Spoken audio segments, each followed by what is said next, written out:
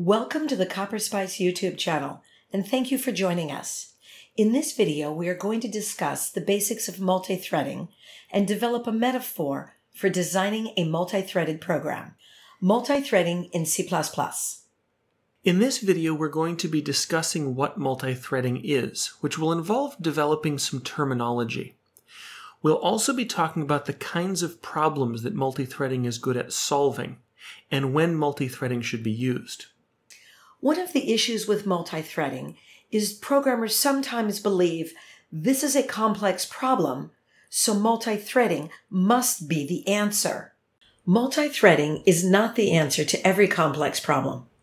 It should be used when it is the only way to meet your design requirements.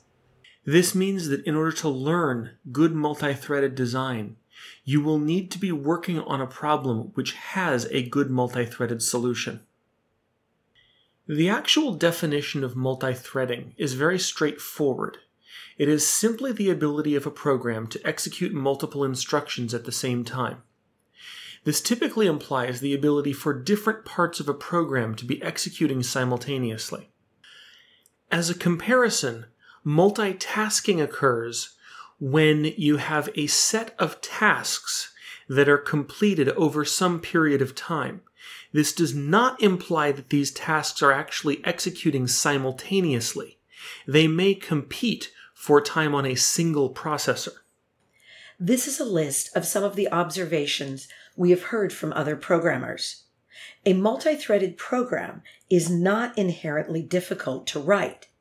The truth is, a multi-threaded program is hard if the problem you are trying to solve is complicated. In order to write multi-threaded programs, we need to work with threads. A thread is a set of work which can be scheduled to execute on one core. And each thread belongs to a process, but it has its own call stack within that process. In a multi-threaded design, it is important to understand the difference between a thread and a process. A multi-threaded program consists of one process with many threads running simultaneously inside that process. These threads share most of their resources, so they are not isolated from one another. This allows the threads to communicate with one another in a very efficient manner. But this must be used with care, as failures in one thread can impact other threads operating in the same process. The only resource that the threads within a process do not share is their call stack. Since each thread needs to know what work it is doing at any particular time, it must have its own stack, but all other parts of the process are shared. The threads in your program will be running on some number of cores. The number of cores physically in your computer determines the total number of instruction streams that can be executing simultaneously. A computer might have multiple processors, each of which might have multiple cores. And while a thread is active and running, it has exclusive use of a single core. In the context of multi-threading, a resource is considered to be anything which would be corrupted if two threads were to access it at the same time. If two threads access a resource simultaneously, and at least one of those accesses is a write, so it is modifying the resource, you have a race condition. And in C++, a race condition is explicitly undefined behavior. It is extremely important to avoid race conditions for correct behavior of your programs. As we've mentioned, the stack belongs to a specific thread, and this is the area of memory that is used for local variables and other data which is known at compile time. The heap, which is used by the runtime allocated data, is shared among all threads. So what sorts of problems naturally lend themselves to a multi-threaded solution? One attribute to look for is a task which can be split up into individual steps, and each step has clear inputs and outputs. This is very useful because it gives you a clear division of responsibilities when you break the task down into individual threads. If your task involves a small amount of I.O. and a great deal of computation, a multi-threaded solution is likely to be a good one. If you have a large read-only data set that needs to be processed in some way, this can also be done in a very straightforward way in a multi-threaded design. There are also a set of problems for which multi-threading is the only solution, but it is not straightforward because these are not simple to decompose into individual tasks. These problems arise when you have a large amount of resources, such as disk drives and network sockets that might be managed by an operating system, and a large number of external clients that will be making requests in an arbitrary order. Managing access to these resources in a multi-threaded environment can be very challenging, but an operating system which was not multi-threaded would exhibit very poor performance. So let's look at some sample problems. In this example, we have a kitchen and there's two chefs and there's two knives. These are the resources.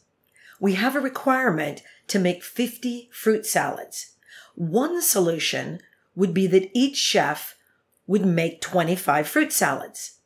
First question, is this the best approach? Here's what the code would look like. The first thing we do is set up a thread we're calling this thread chef1, and to the constructor of this thread we pass a lambda. The body of this lambda is the code that will be executed on this separate thread. So this chef will simply make 25 fruit salads and then terminate. Chef 2 will do exactly the same thing. And when we are finished starting both of these chef threads, we will join both of them. This means that this code will block until both threads have finished executing. In this example, our requirement is to make 50 apple pies. To do this, we're going to add a shared resource, namely an oven. What would it look like if each chef were to make 25 apple pies? At the beginning of this code, we set up our resource, which is an oven, and we set up a mutex to control access to this oven. A mutex is nothing more than an object which can be locked by one thread at a time. Then inside the body of the chef thread, we loop 25 times, we set up a new pie, make a crust, put the apples in the pie. Then we acquire a lock on the oven mutex and bake the pie. The second chef will do exactly the same. This means that while a pie is baking, it is very possible that both chefs will be idle. One is baking the pie while the other is waiting for access to the oven. So in this example, we're going to again have a requirement of making 50 apple pies. We're going to try a slightly different approach. What if we have one chef prepare the pies while the second chef actually bakes the pies in the oven? So now, instead of a mutex that controls access to the oven, we are going to have a conveyor belt that will move the pies from one chef to the other. The first chef will continually make pies and put apples in them, and then give the pie away by putting them on the conveyor belt. The second chef will take pies off the conveyor belt and bake them and do no other work. In this solution, the first chef never has to wait. They can make pies continuously until they are finished. The second chef is spending almost their entire time standing in front of the oven waiting for the pie to be finished. Depending upon how long a pie takes to bake versus how long the first chef spends preparing pies, this may improve performance. But the question is, can we do better? Can we optimize this design further? Could these threads ever cause a deadlock? Could they both get stuck waiting for one resource? And are there any race conditions? Will a resource ever be used simultaneously by two threads? This second solution to the apple pie example has some interesting properties. These threads can never be in a deadlock because there are no locks, there is no mutex to lock. And there are no race conditions because no resource is ever accessed simultaneously by multiple threads. The first thread makes the pies and then gives them away. The second thread cannot access them until the first thread has relinquished them. What if we have a scenario where we need two different products? If we need fruit salads and chicken salads, there are several ways we can decompose this. We can have each chef make one of each and do the cleanup. We can have one chef make all the fruit salads and have the other chef make all the chicken salads. Or we can have both chefs start working on the fruit salads, and when enough of them have been made, they can both switch over to making chicken salads. These solutions all have different properties and trade offs. The first one may be fairly expensive if the cleanup takes a long time. We're doing a lot of redundant cleanup. The second solution may have one chef finishing before the other if fruit salads are easier to make than chicken salads, but this may not be a problem in your environment. The third solution guarantees that all of the fruit salads will be available as soon as possible, but with the complexity that both chefs now have to share a resource because they need to keep track of how many fruit salads have been made.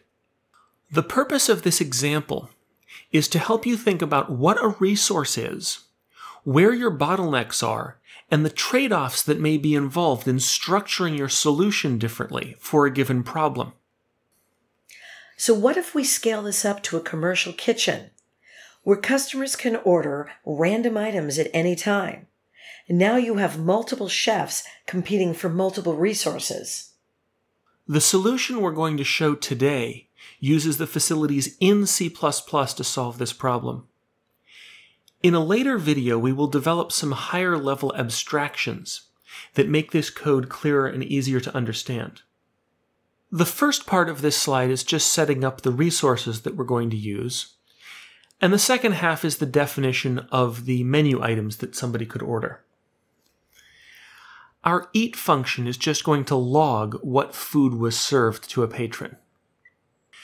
We're going to be using a future and a promise to keep track of patrons and their food, and we're setting up a using here for readability.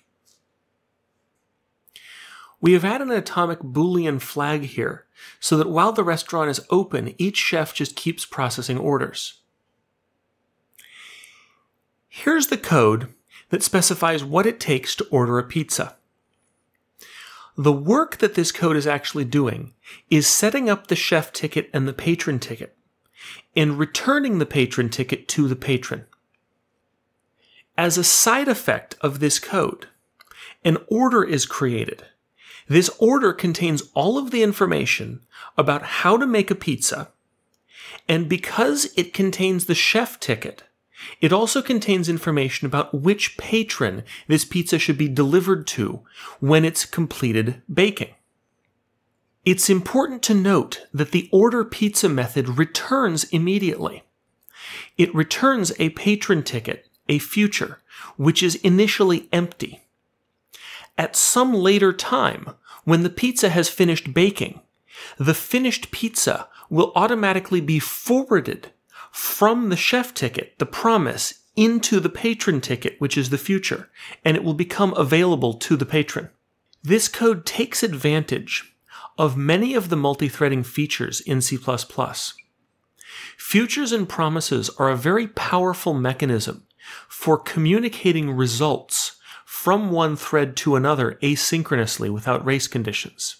They depend on the fact that a resource is moved into the promise and transported to the future. This means that the resource is never available to both threads simultaneously and therefore cannot be subject to a race condition. This means that although we have to lock the oven, there is no need to lock the pizza that is being made. As a side note, if you are using C++ 14, this code can be simplified somewhat, because in C++ 14 you can move capture values into a lambda. We had to use a shared pointer to get around this limitation in our C++ 11 example. In this kitchen example, there are many places where the code could have been improved. Adding more ovens might improve the performance, but at what cost? This is a list of some of the areas of improvement, but addressing these makes the code more complex and may not speed things up. You really need to know exactly where your threads are spending their time to improve the efficiency. Some general principles to keep in mind when designing multi-threaded programs. One common mistake is having too many active threads. This can really impact performance. It's best to aim for one or perhaps two active threads per physical core available on your hardware. It is also extremely damaging to efficiency when you have too much shared data. The most important part of multi-threaded design is reducing the number of shared data structures, reducing the amount of data in those structures, and reducing the number of threads that require access to them. Reducing the amount of shared data should be the main guiding principle in your entire design. And when shared data is absolutely required, see what you can do to make it read only.